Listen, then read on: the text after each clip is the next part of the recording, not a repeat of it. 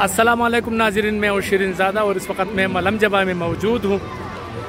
मलम जबा, आप देख रहे हैं काफ़ी तादाद में सयाह यहाँ पहुँच रहे हैं और यहाँ के खूबसूरत नज़ारों चेयर लिफ्ट और जिप लाइन से और दिगर चीज़ों से लुफानंदोज़ हो रहे हैं। बच्चे, बड़े, ख़वातीन बुज़ुर्ग, शहरी, तमाम यहाँ पर पहुँच रहे हैं और वो काफ़ी यहाँ पर लुफानंदोज़ हो रहे मौसम से भी और कुदरती मनाजिर से भी और चेयर लिफ्ट और दिगर जो चीज़ें हैं। लेकिन मैं थोड़ा सा आपको अपडेट करना चाहता हूँ कालाम के हवाले से। कालाम चूँकि एक बहुत बड़ा सयाहती मुकाम मतलब है और काफ़ी मशहूर है। बहुत बड़ी तादाद में सयाह इन यहाँ का भी रुख करते हैं मलम जबा का। लेकिन कालाम भी लोग जाते हैं ज़रूर।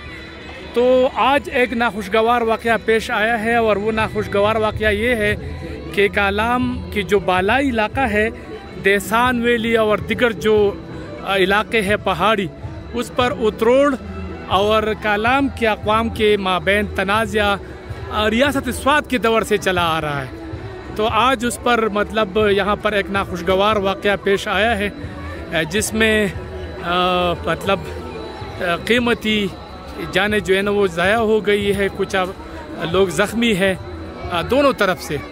तो ये एक बहुत बुरी ख़बर है बहुत ही ज़्यादा लेकिन मैं आपको ये वाजे कर दूँ कि सयाहों के लिए कुछ भी नहीं है। सिर्फ़ वहाँ के अकवाम के दरमियान ये तनाज़ा जो है ना वो है सालों से है। रियासत रियासत स्वाद के दौर से ये तनाज़ा चला आ रहा है तो आ, ये आ, सयाहों के लिए ऐसे कुछ बात नहीं है लेकिन मैं ताज़ तरीन सूरत हाल से आ, आपको अपडेट करना चाहता हूँ कि सिक्योरिटी फोर्सेस के जवान एफसी की जवान पुलिस वहाँ पर पहुँच गई है और जो मुतनाज़ा इलाका है उसको सिक्योरिटी फोर्सेस ने और दिगर जो कानून नाफिज करने वाले इदारे हैं इदारे हैं पुलिस ने बर वक्त कार्रवाई करते हुए इसको अब सारी चीज़ों को कंट्रोल में ले लिया है। फायरिंग का तबादला जो पहाड़ी इलाका है, वहाँ पर जारी था और अब इसको मतलब हालात को कंट्रोल करने में इंतज़ामिया जो है ना वो कामयाब हो रही है। इतलात ये है, अब तक इतलात ये है कि तकरीबन तीन मुबैना तौर पर तीन अपराध या इससे कुछ ज़्यादा अपराध की मरने की जो तस्दीक है, वो हो चुकी है। कुछ पंद्रह लोग जो है ना वो ज़ख्मी हैं, लेकिन ये जो तनाज़ा मैं आपको बार बार इसलिए कह रहा हूँ कि ये मतलब एक पुराना तनाज़ा है। इन दो अकवामों के कालाम और उतरोड़ के आवाम के दरमियान ये काफ़ी दरीना तनाज़ा है। देसान वैली, ये एक जन्नत नज़ीर इलाका है, बहुत ही ज़्यादा खूबसूरत है। इन दिनों वहाँ पर पुल ही पुल होते हैं, ये मिडोज़ है और बहुत ही ज़्यादा मतलब बेहतरीन इलाका है। लेकिन बदकस्मती से हर साल जो है ना, यहाँ पर तनाज़ा जो है ना, वो कड़ा हो जाता है और मसाइल जो है ना, वो फिर सयाहों को भुगतना पड़ते हैं, क्योंकि लोग यहाँ पर फिर नहीं आना चाहते। वजह यह है कि तनाज़ात की वजह से आपको पता ही है कि झगड़े की वजह से लोग डरते हैं, लोग टेंशन फ्री जगह पे जाना चाहते हैं। कल नारान में भी नाजायज़ तजावज़ात हटाने पर इसमें एक डिस्पी भी ज़ख्मी हो गया। तो अभी भी मैं ये दोनों अकवाम से रिक्वेस्ट करूँगा कि वो हथियार डाल दे और पहाड़ों से नीचे आए और कानून पर मामला छोड़ दे। अदालत में केस चल रहा है। अदालत जिसके हक़ में फैसला कर दे, फिर उसको तस्लीम करना चाहिए। तो सयाह या मौजूदा सूरत हाल में वहाँ पर सयाह जो है ना, काफ़ी तादाद में वहाँ मौजूद है और वहाँ पर मतलब कालाम में बाज़ार में या इन इलाकों में कुछ नहीं है। लेकिन जो आप बालाई इलाकों में जाना चाहते हैं तो वहाँ पर मतलब ये सूरत हाल है। अब तक इतलात ये है कि एफ़ सी और सिक्योरिटी फोर्सेस पुलिस वहाँ पर पहुँच चुकी है और वो उन्होंने हालात को कंट्रोल कर लिया है। लेकिन बहरहाल फिर भी ये तनाज़ा हमें मालूम है, चूँकि मैं इस इलाके का हूँ और मुझे पता है कि क्या सूरत हाल हो सकती है। तो अल्लाह हमारे स्वाद पर, हमारे पाकिस्तान पर रहम करे और जो तनाज़ात है उसको हल्ला हल करे ताकि ये सीज़न का पीक है। मतलब आप अंदाज़ा लगा लें कि लाखों के हिसाब से माहाना सयाह आ रहे बहुत बड़ी तादाद में सयाह आ रहे और वो मतलब चूँकि सड़कें ठीक हो गई है, कालाम की सड़क पहले पाँच छः घंटे में हम पहुँचता पहुँच जाते थे, लेकिन अब वो सिर्फ़ दो ढाई घंटे में लोग पहुँच रहे हैं। और दूसरी बात यह है कि जो ब्रिजेस थे, जिसकी वजह से सड़क ख़राब था, सूबाई हुकूमत ने इसका नोटिस लेते हुए इसको भी ठीक कर दिया है।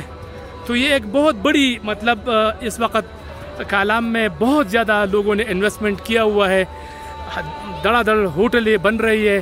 तामीराती काम बहुत ज़्यादा तेज़ी के साथ जारी है। और एक अंदाजे के मुताबिक अब तकरीबन कोई सौ होटलों पर तामीराती काम जारी है, जबकि 300 से ज़्यादा या या मतलब 400 से कुछ कम पुराने होटल वहाँ पर मौजूद है। तो आप अंदाज़ा कर सकते हैं कि कालाम कितना मतलब तरक्की की राह पर गामजन था। लेकिन इस वजह से थोड़ा टेंशन है। मैं उम्मीद करता हूँ कि एक दो दिन में ये भी ख़त्म हो जाएगा और तमाम जो टेंशन है वो ख़त्म हो जाएगा। और ये जो मामलात है। इन सूबाई हुकूमत और कानून नापिस करने वाले इदारे इसको कंट्रोल करने में कामयाब हो जाएँगे। तो ये एक माहौल है जो इस वक्त बना हुआ है। बाकी स्वाद के तमाम सयाहती जो दिगर इलाके हैं मदियन है, बहरीन है, काला तो खैर, अभी थोड़ा सा मैं नहीं कह सकता। लेकिन बहरल वो भी ठीक है।